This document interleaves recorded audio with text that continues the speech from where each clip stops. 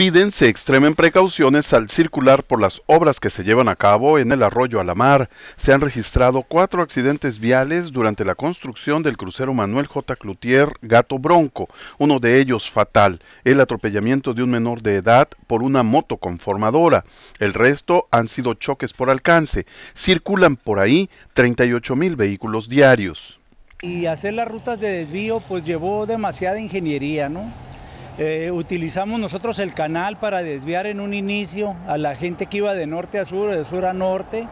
Son los accidentes que por imprudencia algunos algunos usuarios pues cometen, ¿no? Por alcance, que no observan el señalamiento. Este jueves funcionarios de la Secretaría de Infraestructura acudieron a una supervisión, estuvieron encabezados por Carlos Flores Vázquez, titular de SIDUE, quien adelantó que entregarán los puentes funcionando antes del día último de octubre.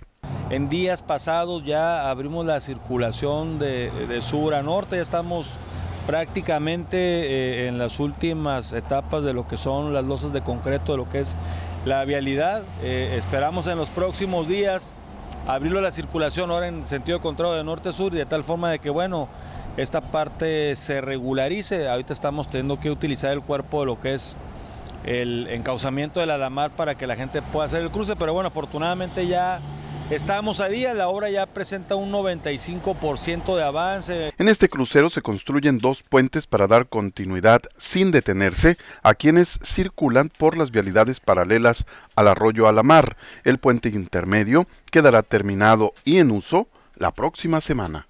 En Tijuana, Carlos Linaldi, reportero, Uniradio Informa.